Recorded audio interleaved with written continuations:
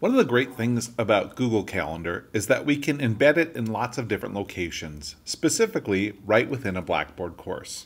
In this tutorial, I'm going to show you how to embed a specific Google Calendar into your Blackboard course. Here you can see I've got lots of calendars available to me.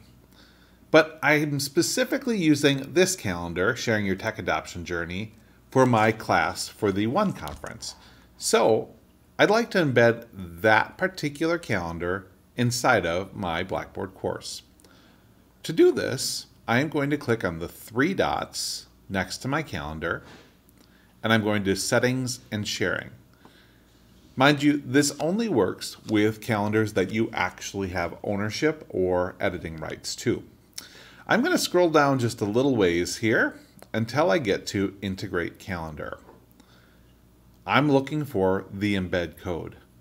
Even if you're not a coder or don't know much about what the code means, that's okay. All we really need to do is select the embed code, copy it, and that's the end of step one.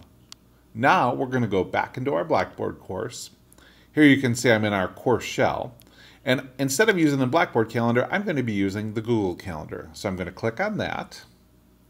I'm going to come in to the Google Calendar here and click Edit. And in this case, I want to leave those initial instructions, but now I'm going to shift over to HTML mode. If you don't see the HTML button, you'll if yours looks more like this, you'll want to click this little drop down, and then we're going to use the HTML button there. When I click that, you'll notice that another window has popped up. I'm just going to go into this open space here, so I hit return twice. I right click and I paste. And there it is. That's my HTML code pasted in. I'm going to click update.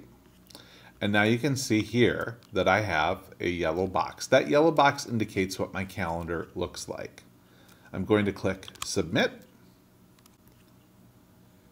and now you can see what my calendar looks like.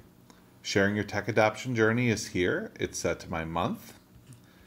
Most importantly, my users can actually click on that and subscribe right to it. And the best part of all is when I make changes to my calendar,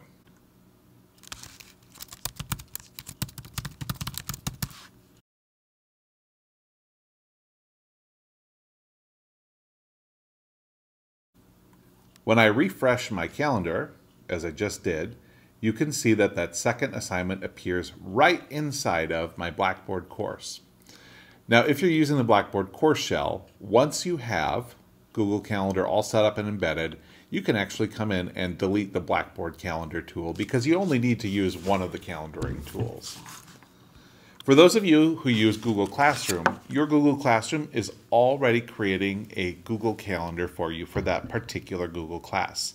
This would be an excellent option to embed into your Blackboard class. And that's how you embed a Google Calendar directly into your Blackboard course.